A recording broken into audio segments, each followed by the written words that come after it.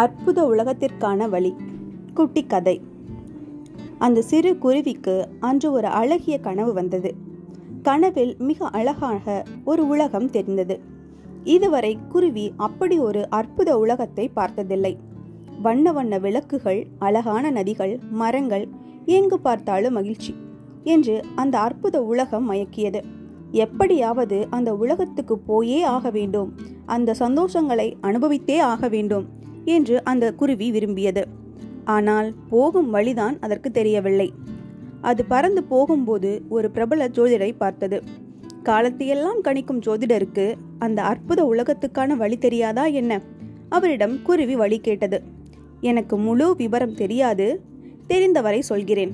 அதற்கு விலையாக நீ உன் சிறகுகளில் ஒன்றை தர வேண்டும் என்றார் ஜோதிடர். ஒரே ஒரு சிறகுதானே? என்று குருவியும் சரி என்றது. குருவி அவர் சொன்ன வழியில் பறந்து சென்றது. குறிப்பிட்ட இடத்துக்கு மேல் அது வழி தெரியாமல் திகைத்து நிற்க அந்த வழியே ஒரு பாம்பு வந்தது. பாம்பிடம் குருவி தன் கனவு பற்றி சொல்லி அந்த உலகத்தின் சந்தோஷங்களை அனுபவிக்க நான் அங்கே போகிறேன் எனக்கு வழிகாட்டேன் என்றது. பாம்பு இங்கிருந்து அந்த பகுதிக்கு செல்லும் வழி ஓரளவுக்குத்தான் எனக்கு தெரியும் சொல்கிறேன். பதிலுக்கு நீ எனக்கு என்ன தருவாய்? உன் அழகான சிறையில் ஒன்றை தந்துவிட என்றது. இன்னொரு சிறகுதானே தந்தால் போச்சு என்று குருவியும் சம்மதித்தது. பாம்பு சொன்ன பாதையில் குருவி பயணிக்க அதுவும் ஓரளவுக்குத்தான் போக முடிந்தது. அதற்கு பிறகு வழி தெரியவில்லை. இப்படியே அந்த குருவி அங்கெங்கே இருந்த சிலரிடம் வழி கேட்டு கேட்டு பறந்தது. அவர்களும் வழி சொல்லிவிட்டு குருவிடமிருந்து ஒரு சிறகை விலையாக கேட்டார்கள்.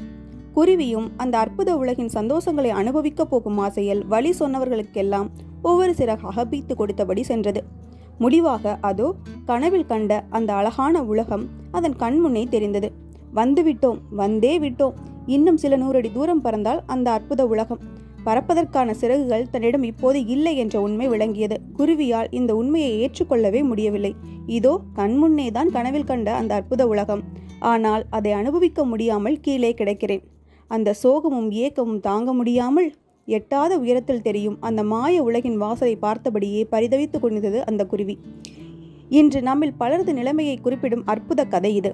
நவீன வசதிகளே சந்தோஷம் என்று அந்த மாய உலகின் வசதிகளை பெருக்கிக் கொள்வதற்காக இன்றைய நம் சந்தோஷங்களை இழந்து கொண்டிருக்கிறோம். குடும்பத்துடன் வெளியே செல்வது பிள்ளைகளோடு மனம் விட்டு பேசுவது பிடித்த புத்தகம் படிப்பது பிடித்த படம் பார்ப்பது பிடித்த கோவிலுக்கு போகுவது பிடித்த உடை உடுத்துவது பிடித்த உணவு உண்பது என்று எல்லா சந்தோஷ சிறகுகளையும் ஒவ்வொன்றாக வெட்டி வெட்டி வீசுகிறோம். கடைசியில் இந்த வசதிகளை அனுபவிக்கும் ஒரு நிலை வரும்போது நரை கூடி திரை வந்து உடலும் மனசும் தளர்ந்து போகிறது. எல்லாம் இருந்தும் அனுபவிக்க முடியாத நிலை ஏற்படுகிறது. மகிழ்ச்சி என்பது வசதிகளில் இல்லை. நாம் செய்யும் ஒவ்வொரு செயலிலும் இருக்கிறது.